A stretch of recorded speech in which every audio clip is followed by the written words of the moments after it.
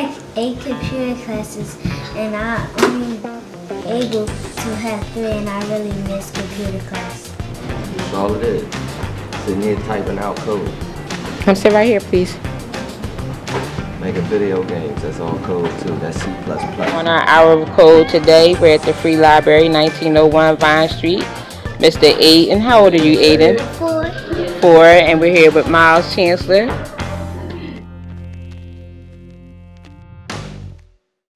Today is December 8th, 2018. We're here at Lovett Memorial Library for our hour of code.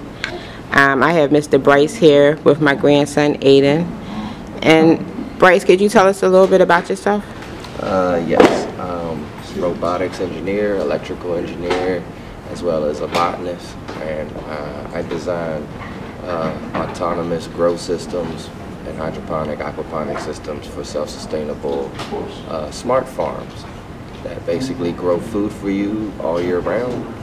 Um, and they're all run by a smartphone app.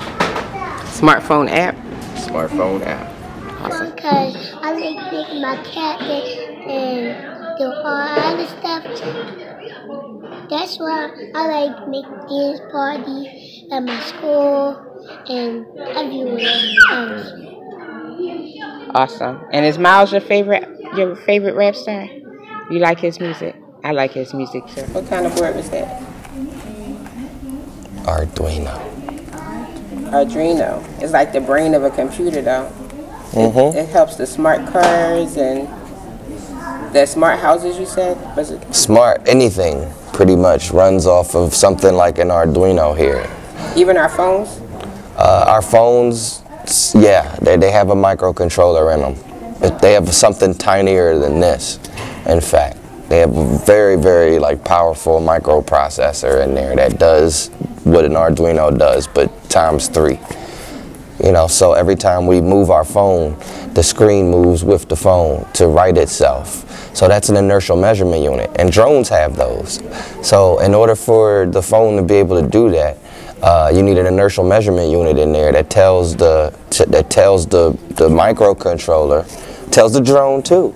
It tells the microcontroller on the drone where it is, and so it's like a teeny tiny little glass bubble and inside there's a little BB in there, a tiny little metal ball, and it bobbles around in there. So no matter where you turn this thing, it's bobbling around, and because of gravity, it's always going to go down. And when it goes down, depending on how you turn it and flip it around, there's little registers on there, little laser registers that will pick up where that ball is. And so that's all mounted onto a tiny little chip the size of a postage stamp. Huh? I thought the phone ball like It doesn't break because it's so teeny and tiny and it's mounted on this board. And then that board goes inside of your cell phone. So it's got all these layers of devices and other things around it protecting. like open my eyes like just like how how young they getting started on doing this advanced stuff. Like this is a it's definitely like a good introduction to just like open up the concept. You know what I'm saying? And then they can just expand on it as they get more curious and stuff Come like here, that. Nice. show you something? Thank you both.